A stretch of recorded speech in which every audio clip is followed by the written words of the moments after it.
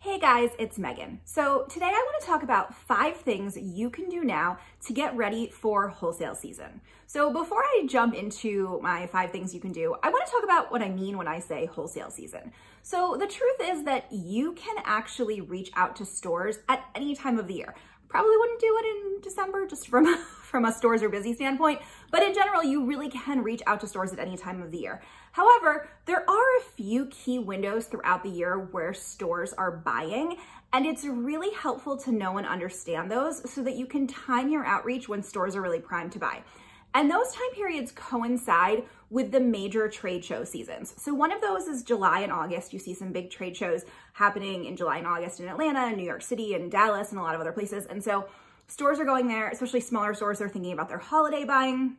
So July and August is one window. The second window is right now, January and February. We are, same thing, gearing up for a series of shows. We've got Atlanta coming up, we've got New York coming up. So you've got these major shows coming up. But even if you aren't doing a show, and that's fine, you can totally do wholesale without doing a show. Even if you aren't doing a show, it's really helpful to understand these windows so that you can time your outreach when buyers are primed to buy. So as we head into this January, February kind of wholesale season trade show window, here are five things you can do now to prep. Number one is to review your line. This is a really good time to just go through your line and see if there's anything that needs to get cut. Maybe it's things that didn't sell well. Maybe it's things where you had production issues. Maybe it's things you're just tired of making or you're not ready to have anymore. Review your line, see if there's anything you want to remove. Of course, at this point, you can also add in new, new work. That's great. But one of the things that I have always found is that coming out of that busy November, December season that's so busy for a lot of us artists and makers, it's a lot of pressure to design entire new bodies of work for this January and February season. So if that's you, don't feel bad that you don't have anything new to add. I personally always did a lot of my designing for that July and August window. That's when I tend to bring in new work. It's when I tend to be more productive in the studio. So that for me is the time. But even if you're not planning on adding anything new, now is a good time to review your line and see if there's anything you wanna cut. Number two is update your prices. So this one is a really good time of year to do this right at the start of the year because things change, right? Costs go up, timing changes. Sometimes you just realize that you were undercharging for something.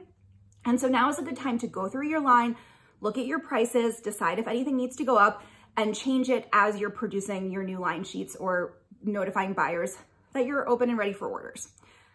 Number three, speaking of line sheets, is to update your line sheet and your online catalog. So if you're using a service like Faire, you wanna make sure that everything in your online is up to date. You're deleting stuff you aren't using you know, you're updating prices. And then obviously if you're using a digital line sheet, a PDF, or you're gonna do a print line sheet for something, you wanna make sure that that is updated and ready to go as well. So that's our third thing. Once you've reviewed your line and outdated your prices, you wanna make sure that line sheet and online catalog, if you use one, are up to date.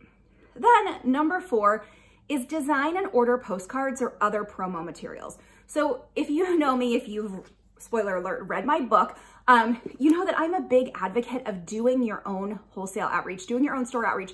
Even if you use a platform like Faire, even if you're doing trade shows, I think it's so important to reach out to stores. And one of the best ways, my favorite way to do that is to design a postcard that you can send to stores. You can email stores, and I think it's also a great strategy, but emailing stores relies on having a great subject line, getting someone to pay attention to you in a crowded inbox. A postcard gives a quick visual hit of your work, your brand, and really lets stores kind of see what you're up to. You can do things like add a QR code to it, describe your line. And so now is a really good time to design and order postcards. In fact, I would even argue that you should do that before you do the full on big task of updating your line sheets or updating your online catalog. The reason being postcards take time to print. And the last thing you wanna do is have to pay expedited because suddenly you realize it's the beginning of February and you haven't ordered any kind of postcard or promotional materials yet. And then finally, number five, if you're ordering postcards or you're thinking about emailing your stores, obviously you need a list. So this is a really good time to update your store list go through, check on stores, make sure they're still in business, make sure everybody's working. If you did postcard mailings in the past, go back through those ones that got returned to you. Make sure you're taking stores that aren't working off your list. Add anyone new that you've discovered in your travels. Make sure your list is updated and refreshed so that it's ready to go when you start doing outreach. So those are five things you can do right now. I realize it's a big list, right? But now is a really great time to do those things so that you're ready to go, not just for this wholesale season, but for the rest of the year. So make sure you review your line, update your pricing, update that line sheet and online catalog, design and order those postcards, and update your store list. Now, if any or all of this sounds like gibberish to you and you're going, Megan, I don't actually know how to do those things, well, no worries. Make sure that you check out my book, The Artist and Profit Maker's Guide to Selling to Stores. It goes into detail on all of these things, what should go in your line, how to price your work, what a line sheet looks like, how to use online platforms, what to do for postcards, how to research stores, and so much more. So this book, Selling to Stores, The Artist and Profit Maker's Guide to Selling Stores, is available on my website at shop.meganauman.com. It's also available on a certain um, big box bookseller slash retailer. I will link to both of those below this video.